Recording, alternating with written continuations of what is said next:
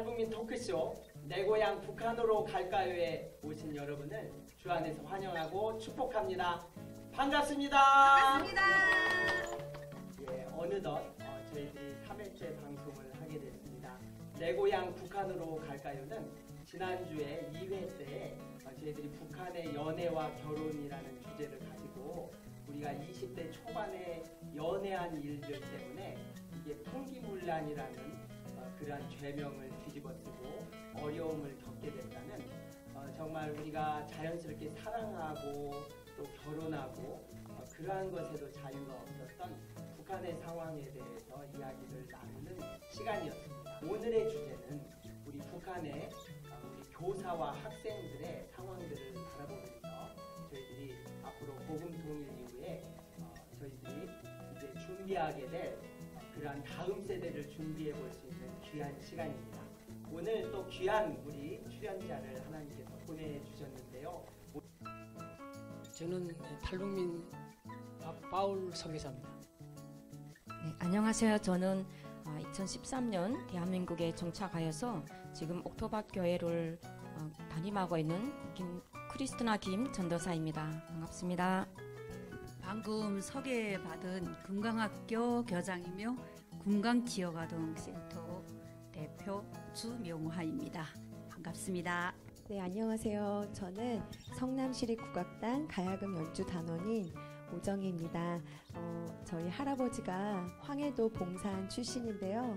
그 고향에 너무 가고 싶은 네, 다시 한번 인사드립니다. 오정희입니다. 예, 오늘 너무나 귀한 분들이 이렇게 함께하게 되셔서 감사를 드리고요. 오늘 어, 저희들이 함께 나눌 이제 주제에 대해서 같이 얘기해 볼 텐데요. 북한에서 교사하셨을 때의 그 자녀들의 좀 상황들에 대해서 어, 한번 말씀해 주시면 좋겠습니다. 그 북한이 교육 연한이 11년이고요.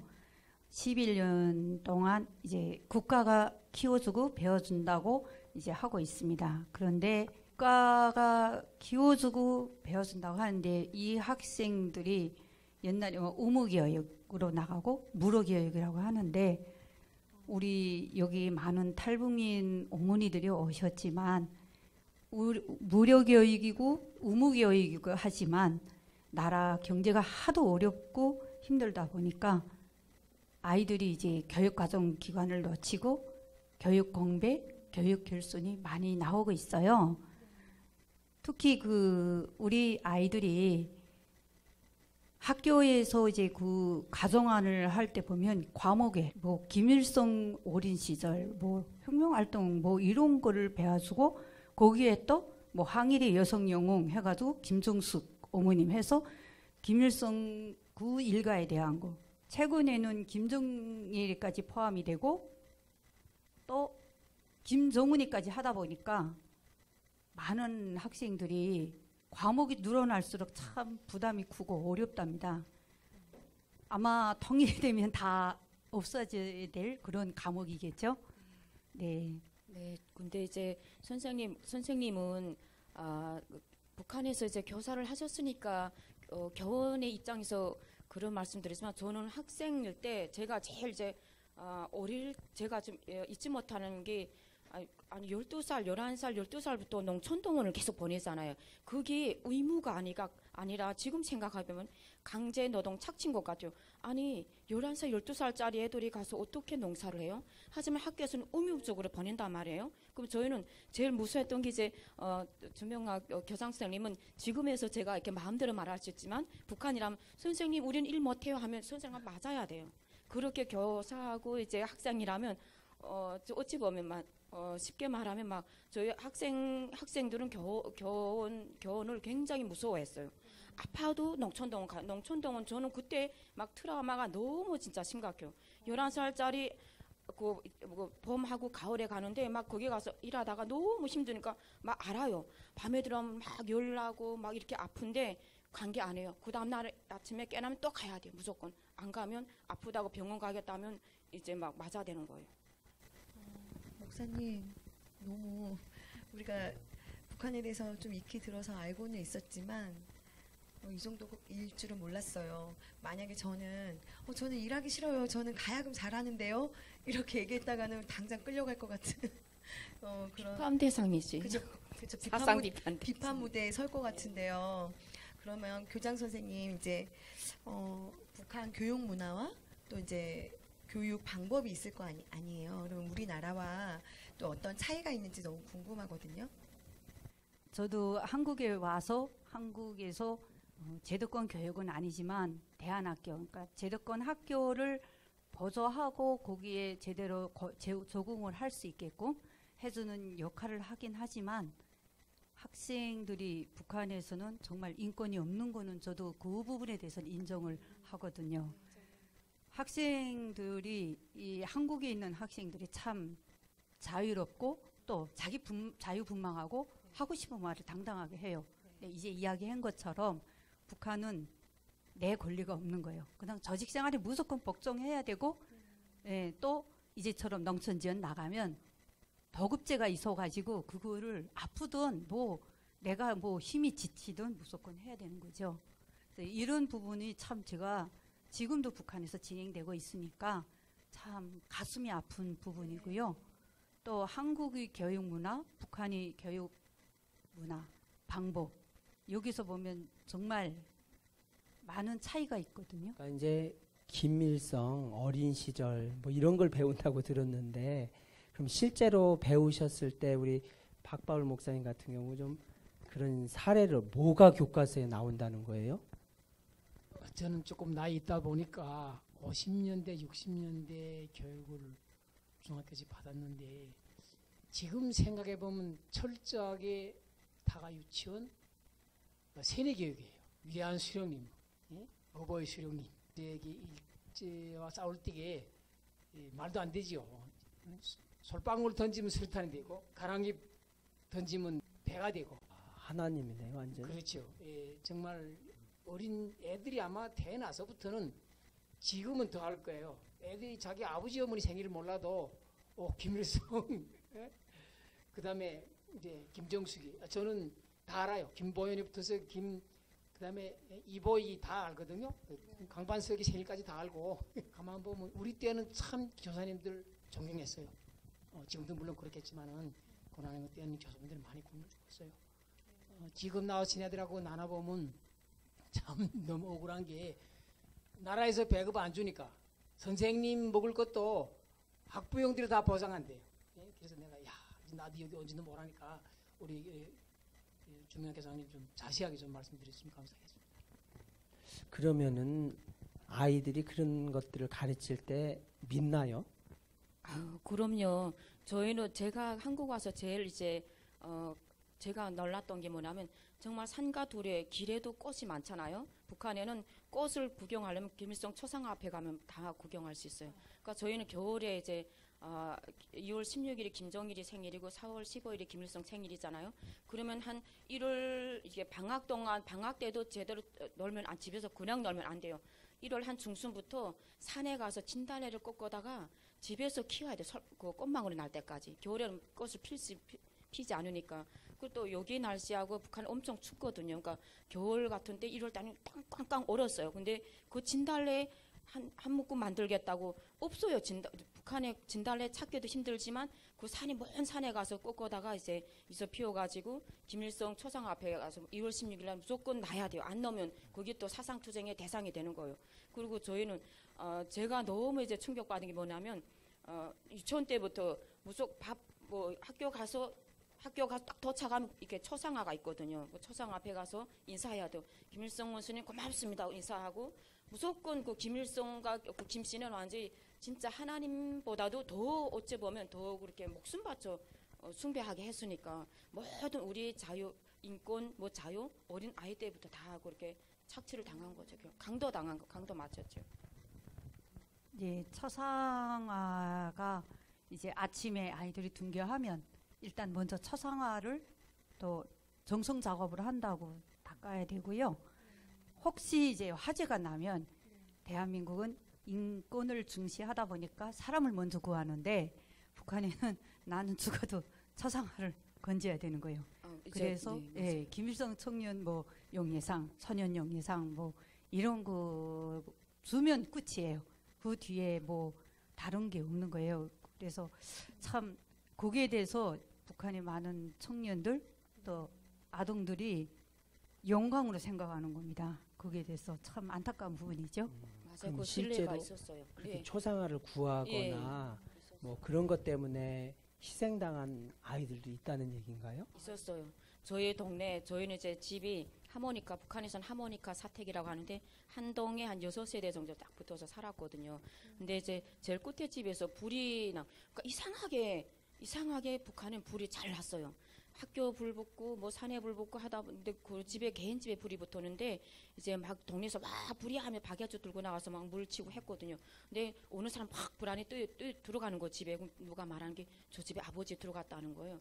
근데 나중에 그 아버지가 막 얼굴 삭하면 다 꼴려가서 나오는데 이제 안고 나온 거 보니까 초상화를 안고 나왔더라고요. 그래서 옆에서 아줌마들이 아니 아니 그 애가 자지 않아 그러니까 새벽에 불이 붙다 보니까 애는 자는 채로 불이 난 거예요 그 집에서 그런 게 나중에 그 아들은 죽었어요. 그러면 이제 나만 같았으면 어떨까요? 막 진짜 이만 뉴스 끓이겠죠.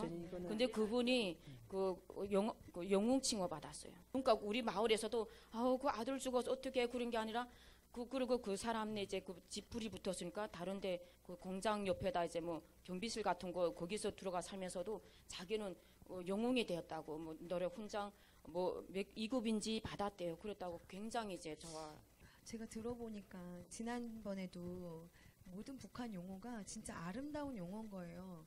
근데 이번에도 마찬가지인 것 같아요. 이번에 뭐 영웅상이요. 영웅 대접을 받는 거잖아요. 아, 이런 게 우리는 다 하나님 중심의 역사가 이렇게 흘러간다라고 얘기하지만 지금 들어보니까 모든 역사가 북한 그 김일성 그 3대 가문에 의- 의해서 다 흘러가는 것 같아서 좀 참담한 것 같습니다.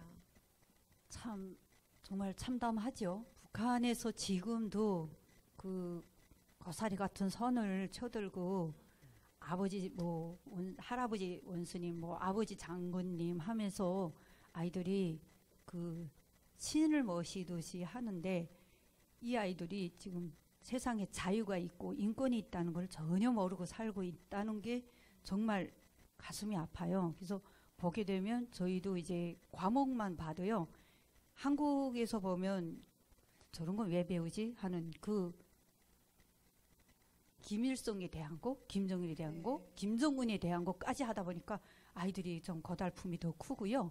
수- 우리도 수업을 들어가면 북한은 한국과 달리 45분 수업이에요. 5분 동안은 당정 체크를 하라고 하거든요. 근데 그거를 매 수업을 해야 되니까 할 게 없어요. 막 당의 10대 원칙 한 조항을 읽어주고 그 다음에 들어가 안 하면 안 되는 거예요. 아닌 게 아니라 이제 이야기한 것처럼 뭐 생활청화 때 이제 집중 공격을 받거나 또 예, 여러 이제 조직 생활 할 때 뭐 당원이면 당 조직, 사로청 사로청 조직에서 이제 엄격하게 비판을 받아야 되니까 저희들이 이제 당적 체크를 해라 하니까 하는 거고 아, 1년에 저 교사들이 1000시간이란 수업을 해야 되는데요. 800시간 정도는 저희가 전공 과목을 하고 나머지 200시간은 김일성 김일성 김정일 김정은을 따라 배우는 그 혁명 활동 공부를 해야 되는데 이거를 저희가 연구실을 아주 열연하게 학교면 학교에서 제일 아름답고 제일 밝고 제일 환한 곳에다 이제 열연하게 꾸려놓고 어린 아이들도요 연구실에 들어가면 독화화를 신어야 되고 목소리를 죽이고 밟고 들어다녀야 되고 예 그리고 또 더럭 다 외워야 돼요 더럭 36판을 다 외워서 문답식 경연을 해야 되고 잘하면 또 거기에 따라서 표창 같은 것도 좀 주기도 하고 참 아이들이 예 너무 안쓰럽거든요. 너무 안타깝네요. 그러면 어, 북한에 있는 교사 선생님들은 이런 거에 대해서 우리가 이렇게 자녀들을 이런 걸 가르쳐야 되나 뭐 여기에 대해서 항의를 한다거나 뭐 이제 한국에는 교사 연합회 뭐 전교조 이런 데가 있어서 우리 이런 교육은 하지 말자 이렇게 목소리를 낼 수도 있고 그거에 의해서 교육의 방향이 달라지기도 하는데 북한에서 있는 교사 선생님들은 그냥 가만히 있었나요? 아, 그게 한국이랑 북한이 그 조직 체계가 좀 차이가 있는데요. 한국은 이제처럼 뭐 어, 너저도 있고 교사 모임도 있고 이렇게 하는데 북한에서는 교육위원회 산하에서 전국의 학생들이 하나의 교육으로 해야 되고 거기에 대해서 불만을 가질 수가 없어요. 그리고 또 교사로 되기 위한 사범대학 가기 전에도 학생들을 가르치는 선생님들 신분이 분명히 확실해야 되기 때문에 신분이 나쁜 사람들은 갈 수가 없잖아요. 그러니까 그 당연하게 당에서 죽으라면 죽는 신용까지 해야 되는 상황이다 보니까 불만을 가질 수가 없어요. 그리고 뭐 조직들에서 이런 거 안 안 하겠습니다. 어디다 대고 감히 말하겠어요? 그럴 수 없어요. 그렇게 말하는 순간 다음 날 그분은 어디로 가고 사라지고 말죠. 까만 승용차 와서 실어 가죠. 까만 승용차 뭔지 모르죠. 정치범 수용소 갈 때 까만 승용차다. 북한 분들이 아마 지금도 그러는지 모르겠는데 저희 때는 까만 승용차를 제일 무서워했어요. 말 한마디 때문에 말 한마디만 잘못하면 애든 어른이든 그 가족은 다 예, 실려가야 돼. 아, 검은 차 얘기를 하시니까 갑자기 어린 시절에 야, 너 잘못하면 엄마한테 잘 못하면 경찰차 온다. 너 경찰 부른다. 이랬는데 북한은 검은 차 온다. 이러면은 까만 차면 제일 무서워요. 그럼 애- 울, 울던 애들도 잘못했습니다. 그럴 것 같아요. 아이들은 뛰놀아야 되는데 갑자기 너무 슬퍼요. 맞아요. 근데 네. 제가 저희 동생이 요즘에 까만 승용차를 타고 다니고 있거든요. 그래 이래 야야야 이 까만 승용차 우리 통일되면 집에 가 집에 타고 갈 때 까만 차 온다. 우리는 자유롭게 온다. 이렇게 하면 타고 가자. 네. 그러면 우리 주명아 선생님, 어, 이제 우리가 여러 가지 그런 제재가 무서워서 아무리 내가 반항하고 싶고 이건 잘못됐다 싶어서 이제 겉으로는 말을 못해도 좀 마음은 그렇지 않았을 수도 있겠다 생각이 들어요. 야 이런 걸 가르쳐야 되나 또 이건 아닌데 하는 그런 좀 마음의 갈등은 없으셨나요? 마음의 갈등이 없을 수가 없죠.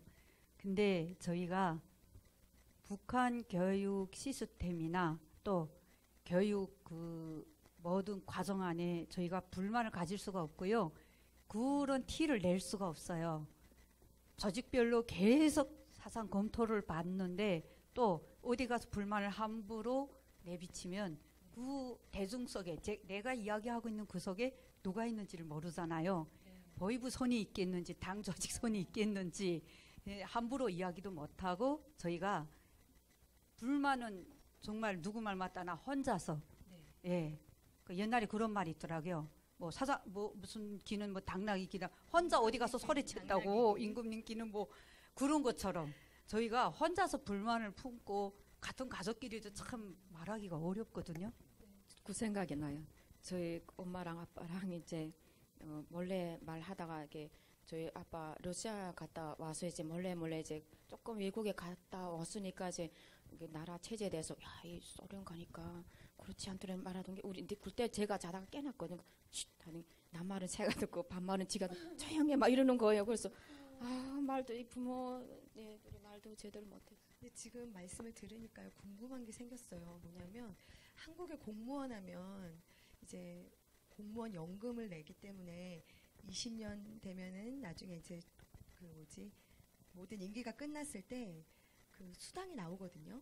그래서 공무원 하면은 최고의 대접을 받고 있고 또 이제 교사 하면은 출산휴가며 또 방학도 있고 되게 자유로운 걸로 제가 알고 있고 많은 지 뭐지 많은 청소년들이나 이제 대학 졸업하신 분들이 사법대 들어가가지고 다 선생님 하고 싶어 하거든요. 그런 대접을 받고 있어서 몸을 사리는 것인지 아니면 참 이게 네. 그 북한 이 구조에 대해서 어떻게 한마디로 이야기할 수는 없어요. 근데 보게 되면 의사도 그렇고 사회 이제 공직이나 또는 그 회사나 교사들이 자기 이제 연년 정년 때까지 일을 하면 정년 때까지 다 일을 끝나면 그 옛날에는 그 600이라면 식량 식량 공급이 600이었거든요. 600에 60 하면 급여가 60이었어요. 근데 그, 그 돈을 이제 퇴직연금처럼 매달 나오거든요. 근데 권한의 행군이 이제 지- 진행되면서 쌀값이 5천 원이다. 근데 급여 받는 게 교사가 많이 받아야 한 3천 그렇게 되더라고요. 그럼 한 달 일하고 급여를 받아봤자 쌀 1kg 살 수가 없어요. 교사를 하고 있겠어요? 안 하는 게 낫죠.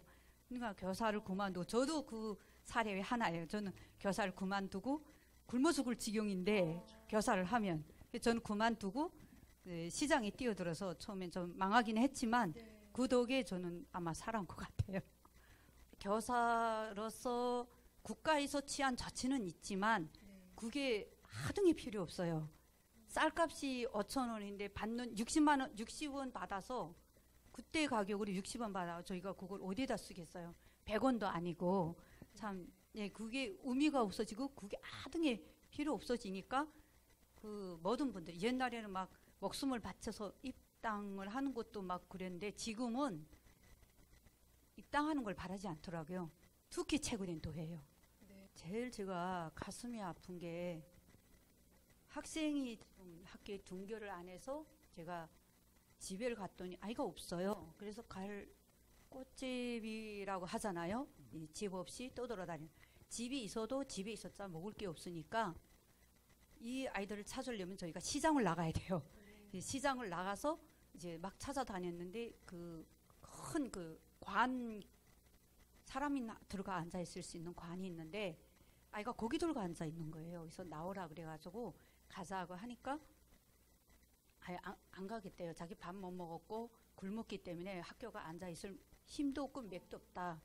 그래서 그럼 어떻게 했으면 좋겠나 했는데 이야기하던 도중에 얘가 냈다 뛰더니 그 생선 장사 앞에 가서 그 물고기 생거 있잖아요.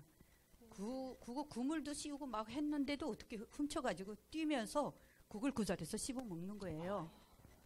생선을 먹는다고 한번 생각해 보세요. 저도 너무 놀라가지고 그 다음 이제 왔더라고요. 그래서 올려서 지금 그때 국수 이렇게 막 시장에서 조금 팔았어요. 그래서 그 먹이고 그 다음에 가자. 근데 너 이 생선 먹어서 괜찮겠니? 했더니 스님 이거 먹고요. 저 치약 먹어요. 그러면 아무 일도 없어요.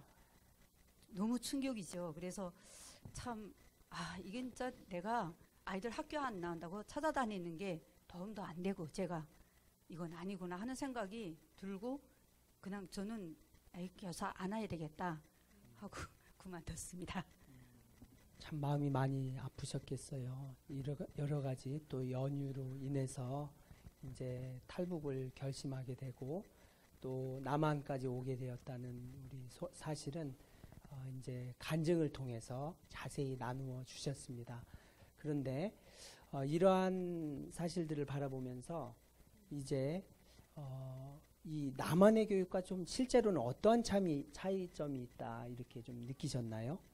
아, 제가 그 저도 북한에서 그렇게 해왔는데요. 그 좀 주입식, 그다음에 암기식으로 많이 하고 문제에 대한 정답이 딱 정해져 있어요. 그래서 시험을 치고 받아낼 때도 정답을 딱 맞추고 거기에 이제 한해서 했는데 제가 한국에 와서 보니까 한국은 보니까 거의 그 사지선 다형? 이렇게 해서 예, 하고 그다음 아이들이 이제 교육이 참 자율적이고 교사 위주가 아니고 아이들을 중심에 놓고 하는 그 수업이 참 인상이 깊었고요. 아이들이 아 이렇게 자기 생각을 자유롭게 이야기할 수 있구나 하는 게 너무 좋은 거예요. 그래서 하나 이제 제가 교수 참관을 하면서 두던데 뭐 터키와 거북이 막 하는데 북한 같으면 무조건 이제 그 응? 터키가 그 아무리 빠르다 그래도 자다가 그냥 자버리는 바람에 거북인데 졌다. 겨우 어, 이렇게 방심하면 모든 게 뭐 이런 터키 결과가 나온다. 이렇게 아마 끝났을 것 같은데 수업을 하는데 한 아이가 일어서더니 선생님 거북이도 잘못이 있다는 거예요. 그래서 어떤 잘못이 있냐? 자는 거북이를 깨워가 아, 저 터키를 깨워가지고 가야지 혼자 가서 이기는 거예요. 근데 선생님이 듣고 와 그런 생각도 있구나 하고 그 생각에 대해서 이렇게 예, 인정을 해주시는 거예요. 제가 거기서 참 예, 교육 방법, 교육 문화가 정, 북한하고 많이 다르다는 느낌을 이렇게 한 가지 단편적인 실례로 말씀드립니다. 맞아요. 저도 이제 북한에서도 학교 다녔고 여기서도 어, 대한민국 와서도 이제 어, 학교 다녔는데요. 아니 북한에선 시험 주간 하면 쌍꺼풀 터져야 돼요. 무조건 암송을 해야 되거든요. 그리고 특별히 모든 문제, 문제가 얼마나 많은지도 몰라요. 선생님들은 잘 모르겠고 학생들은 진짜 고통스러워요.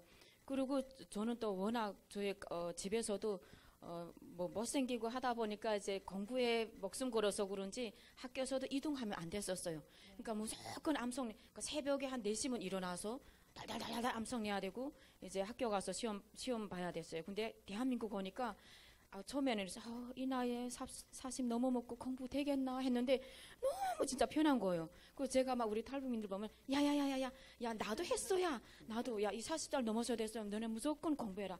북한하고 완전히 다른 진짜 너무 너무 진짜 자유롭고 너무 좋더라고요.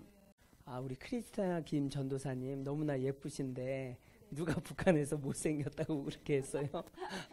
다들 그랬어요. 아니 저 근데 지금 하나님 만나기 전에 저는 굉장히 외모에 대한 트라우마가 있었어요. 그러니까 나는 못생겼으니까 공부라도 잘해야지 하고 이제 했는데 지금은 당당히 아 내가 얼마나 예쁜 공주라고 하나님 보시기에 정말 이 크리스탈 김 얼마나 예쁘죠? 네, 우리 또 아까 간증을 들으면서 우리 주명아 교장 선생님 어, 이 한국에 와서도 다른 일 하시는 게 아니라 교육에 대한 일을 또 하고 계시고 어, 특별히 이렇게 어, 북한 2세들 우리 탈북민 자녀들에 대해서 대안학교를 하는 우리 학교의 이제 교장 선생님으로 사역하신다고 들었습니다. 좀 거기에 대해서 또 어, 왜 시작하게 되셨는지 또 어떤 일 하고 계신지 좀 소개해 주시면 좋겠습니다. 예, 저희 탈북민들이 한국에 오게 되면 겪는 어려움이 크게 한 세 가지 되잖아요. 어, 뭐 문화, 언어, 또 두 번째는 그 적응하는 데서 그 사회적 편견, 또 취업의 어려움. 근데 마지막에 보면 자녀에 대한 어려움이 많아요.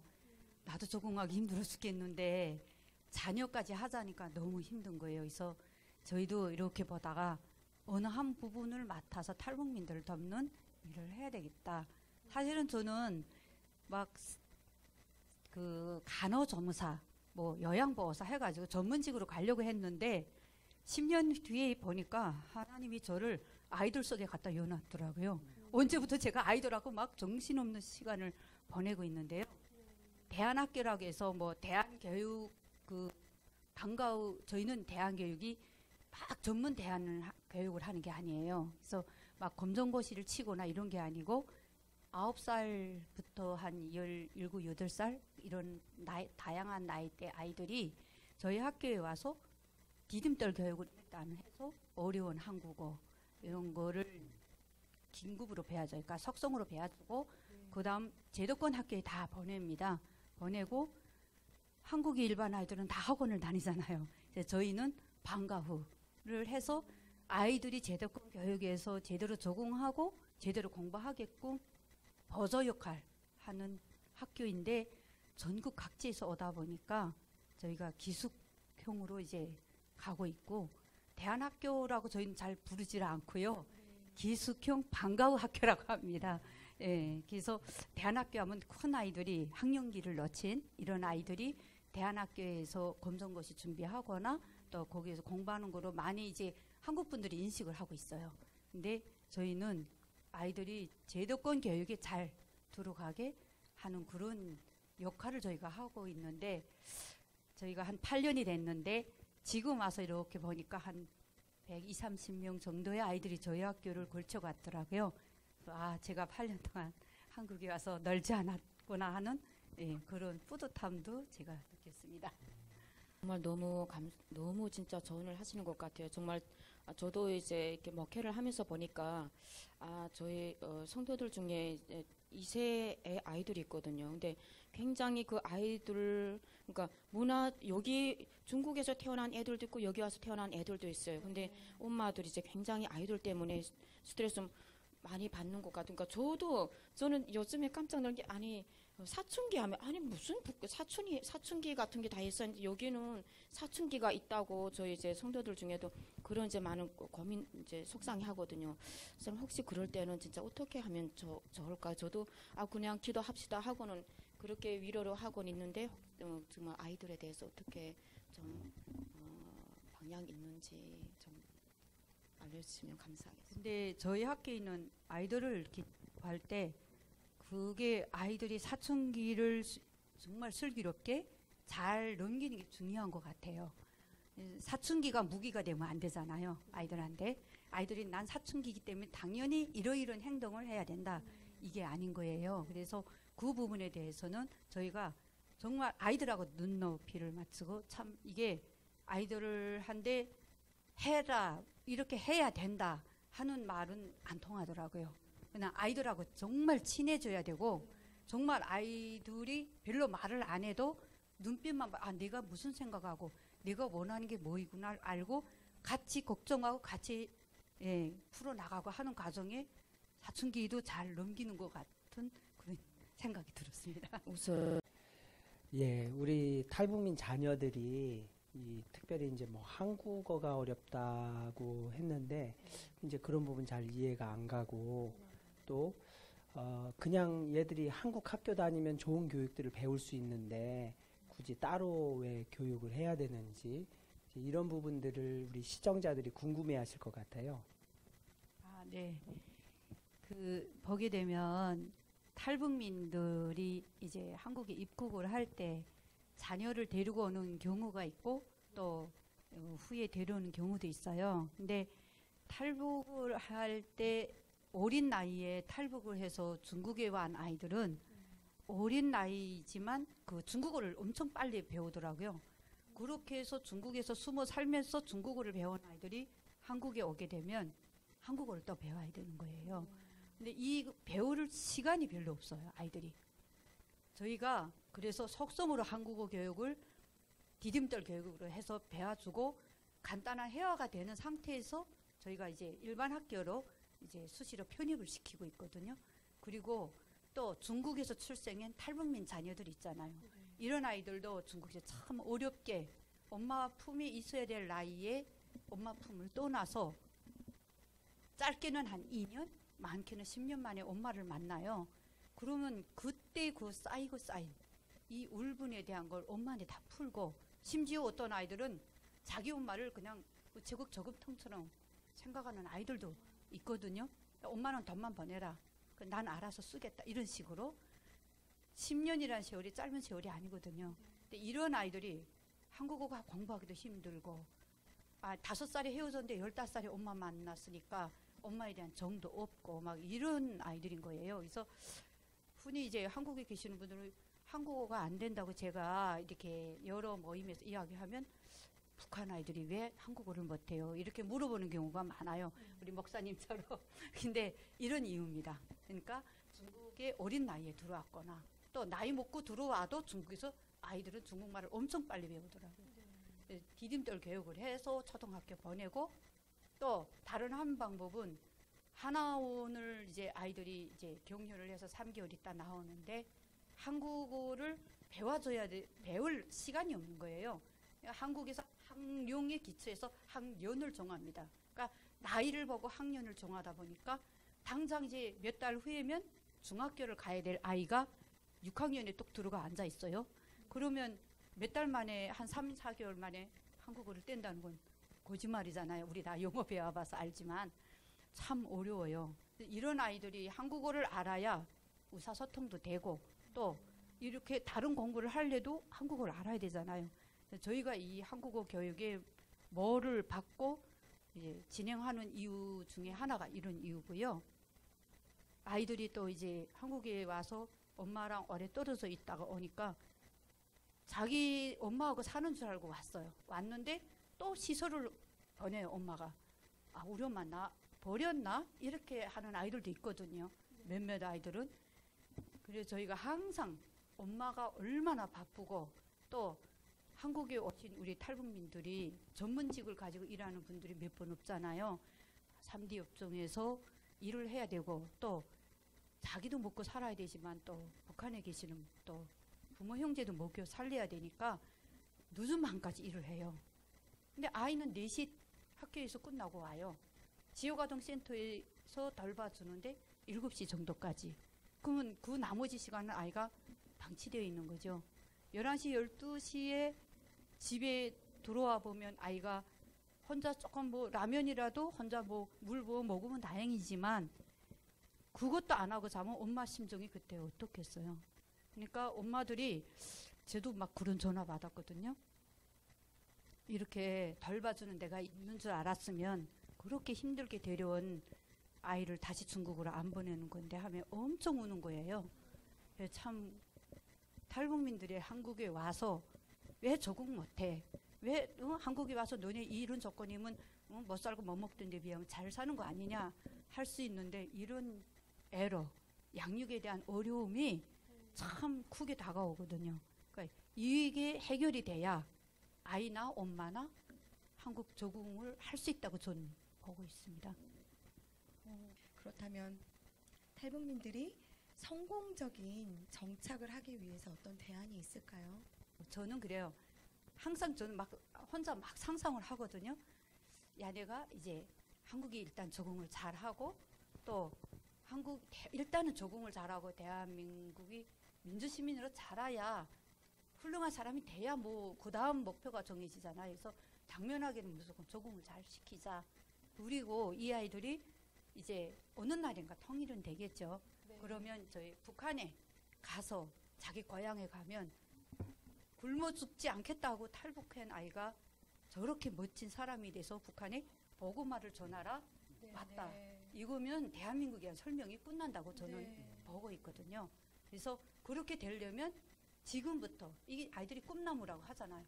나무에 물을 주고 영양을 주고 해야 나무가 푸르싱싱하게 자라듯이 아이들한테 사회적 관심을 좀 높여주고 또 아이들이 적응할 수 있게끔 교육 체계가 완비되어야 된다고 봐요. 그래서 하나원 안에서는 하나둘 학교, 어, 삼척 초등학교 이런 데서 자기 위치에서 역할을 잘 해주고 야네가 사회에 나와서 초등학교를 가게 되잖아요. 그래서 저희 대안학교랑 예, 같이 연합을 해서 초등학교에는 지금 남북 하나 재단에서 파견해 가지고 있는 통일 전담사라고 있거든요. 이 통일 전, 전담사라는 분들은 초등학교, 중학교에 파견이 돼 가지고 여기에서 이제 탈북민 자녀들만 예, 전문 돌봐주고 있어요. 방과후도 지도해주고 그리고 이중언어 선생님들을 또 채용하더라고요. 초등학교가 그래서 한국어를 오전에 2시간 또 저희는 한국어를 하- 한 달에 24시간이 되게 하루에 무조건 2시간씩 되게 이렇게 해서 그 수업을 이제 체계적으로 해나가고 있어요. 예, 대한교육에서도 대한 여러 가지 대한교육 시설들이 있는데 이런 기관들이 자기 역할을 충분히 하게 되면 한국에 와 있는 아이들이 겉돌지 않고 어떤 대안학교든 정규학교든 가서 공부를 하게 되면 대인 기피증이 오거나 심리적 불안한 정서가 교육 대한민국의 교육 시스템이 북한에 비하면 얼마나 잘 돼 있나요? 저는 이걸 다 활용하고 아이들이 정서적으로 안정이 되면 참 적응하는 데 큰 도움이 되지 않겠나 생각하고 있어요. 저도 이제 또 다른 탈북민 대안학교들을 통해서 우리 교육받고 멋지게 준비된 우리 이제 사례들을 많이 들었습니다. 우리 특별히 이제 어떻게 금강 학교에서는 이제 우리 신앙적인 부분을 양육하고 아이들을 또 성경적인 가치관으로 양육하시는지 좀 나눠주시면 감사하겠습니다. 그 어린이 전도 협회가 있잖아요. 어린이 전도 협회가 주 1회씩 저희 네 와서 아이들하고 찬송 성경 구절 이제 외우고 하는데 아이들이 한 구절을 그 막 한 구절을 외워요. 그럼 이제 그거 막 잘 외우는 이런 아이들에 한해서는 이제 막 상 상도 주고 그 예, 어린이 전도 협회 분들이 참 잘하세요. 그리고 이제 춤, 율동 아 내가 성경을 어, 성경 공부한다 이런 그런 개념보다 아나 음악을 한다 뭐 이런 개념으로 하다 보니까 지루해하지 않더라고요. 예, 딱 그리고 음악 뭐 춤만 하는 게 아니고 어떨 때는 와서 그림도 예, 그리고 뭐 작품도 만들고 이렇게 하고요. 주일에 이제 저희가 그 아이들 데리고 주일 학교 막 이런데 이제 가서 주- 학년별로 갈라져요. 그 교회가 막 나이 대 학년별로 이렇게 하는데 한국어를 전혀 못하는 아이들, 우리 한국어를 안녕하십니까도 못하는 이런 아이들이 한해서는 또 그런 아이들만 따로 이렇게 해서 예, 막 번역도 좀 해주시고 하더라고요.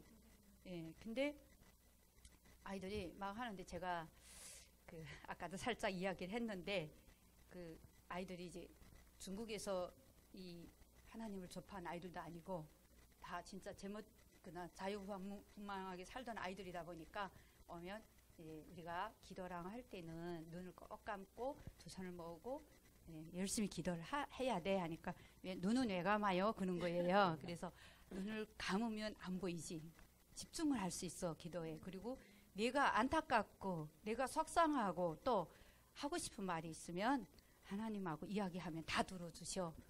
그랬어요. 아니 어느 날 한 몇 달 됐나 와가지고 저 귀에다 대고 선생님 왜 그러니까 하나님 나내 말 안 듣어요 하는 거예요. 그래서 그게 무슨 말이야? 했더니 암만 말해도 하나님이 대답을 안 한대요. 아 하나님 너 말 다 듣고 내 이야기를 지금 듣어주시고 내 소원을 알고 계셔.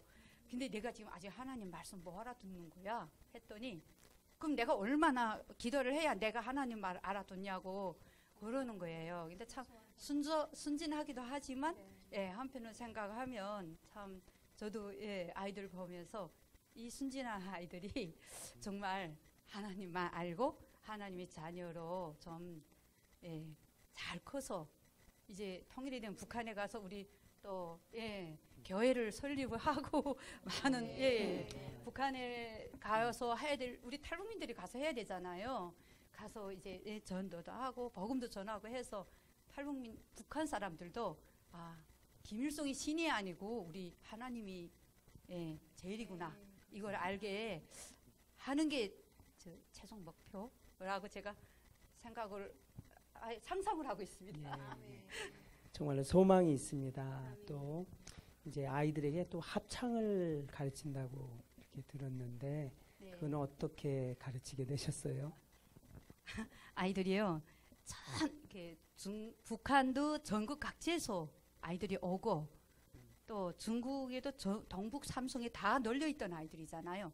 그래도 대한민국도 강원도부터 시작해서 경기도, 전주, 강주, 목포, 뭐 울산 전국에서 왔어요.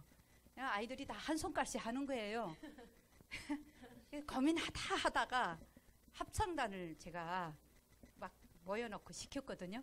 근데 이 애들이 한 서너 명을 세워놓고 노래를 부르게 하니까 서로 소리 지르는데 굉장한 거예요. 그러거나 말거나 어쨌든 해보자 하고 계속 연습을 계속 북한 좀 그런 거 있잖아요. 아주 그냥 주입식으로. 근데 어느 날부터 쟤네끼리 툭툭 치면서 목소리 이상한 소리 내면 내지 못하게 툭툭 막 치는 거예요. 예, 그래서 어, 막 그래도 목소리는 합쳤어요. 근데 뭐 잘은 못해요. 뭐 누가 예술적으로 형상해 줄 사람도 없고 그 지- 저도 움치고 저희 선생님들 거의 다 뭐 노래 잘하는 분이 별로 없다 보니까 나름대로 우리끼리 막 해가지고 있는데 그 여러 다른 그 지인분들도 또 학교를 방문해 주시는 뭐 후원자분들도 이렇게 보더니만 힘을 주고 용기를 주느라고 강화문 광장에 가서도 하게 하고 그 다음에 가락시장 쪽에도 막 저희 갔댔거든요.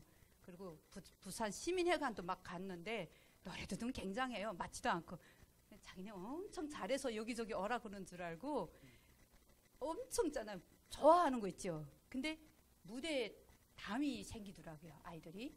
네 그리고 그 연국인 복지재단, 그러니까 연국 알죠? 연국인 복지재단하고 저희가 사회인가 연, 연국을 만들었어요. 홍보와 놀부 뭐 오셔부리 여행 막 이런 거 작품 네 개를 만들었거든요. 근데 그 저는 북한처럼 북한처럼 생각하면 안 되잖아. 찍었어요. 찍, 찍 뭐야 찍, 찍지 않고 너희 여기 영국이 이런 거다. 한번 봐.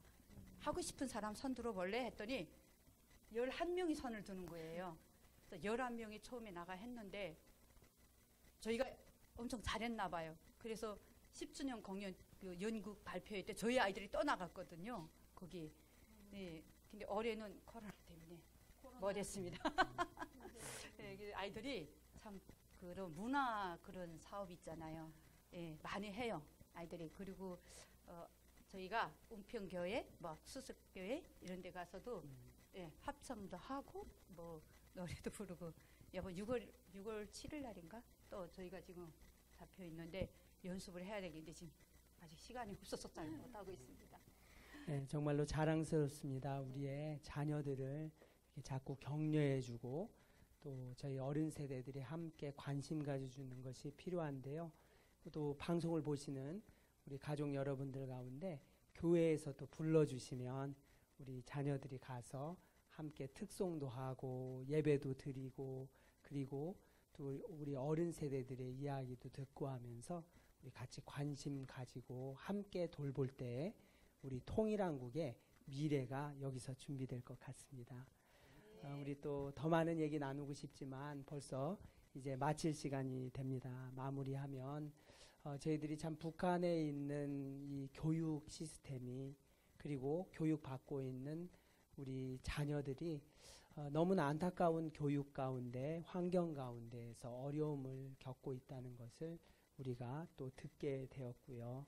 어, 그래서 우리는 하루속히 복음 통일되어서 우리의 자녀들을 정말 이렇게 같은 북한 자녀지만 우리 선생님을 통해서 어, 정말 신앙으로 양육받고 또 하나님의 사랑으로 자녀들을 품어주고 받아줄 때 이 아이들이 변화돼서 꿈과 비전을 가지게 되는 것처럼 우리가 이제 우리 북한의 자녀들이 이런 멋진 교육, 하나님의 교육을 받게 되는 그날이 오기를 소원합니다. 여러분들이 많이 관심 가져주시고 기도해 주시고요. 어, 저도 이 한국에서의 교육이 그렇다고 해서 뭐 다 잘 됐다라고 보지 않아요. 우리 남한에 있는 분들은 가장 불만인 게 자녀 교육.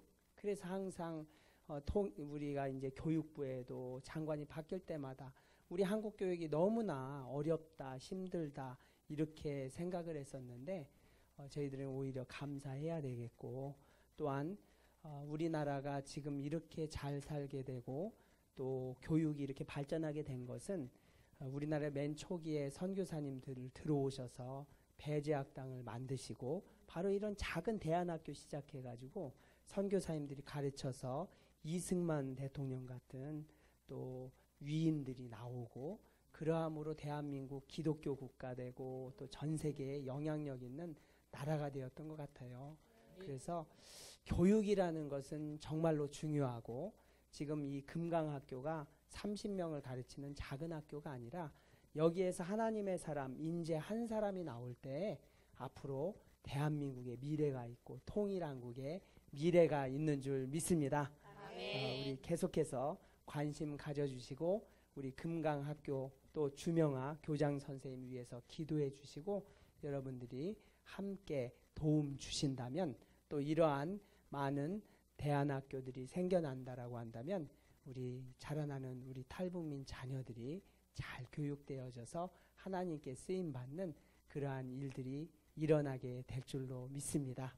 아, 그래서 우리 하루속히 북한에 있는 우리 자녀들을 속히 하나님의 사람으로 만드는 그날이 올 때까지 여러분들 같이 해주실 거지요?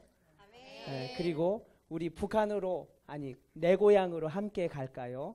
우리 이 프로그램은 계속 될 것입니다. 어, 다음 주에는 어, 저희들이 사회로 어, 또 귀한 우리 게스트 출연자가 계십니다. 어, 우리 마요한 목사님 전에 우리 북기, 북기총이라고 북한기독교 총연합회 회장님을 하셨던 우리 또 귀한 분 오셔서 함께 주제를 정하고 대화 나누고 북한에 대해서 알아가고 함께 소통하는 시간을 통해서 우리 복음 통일의 날 속히 오게 될 줄로 믿습니다. 여러분 다음 주 또 다시 만나도록 하겠습니다. 저희들은 여기서 인사드리겠습니다 감사합니다.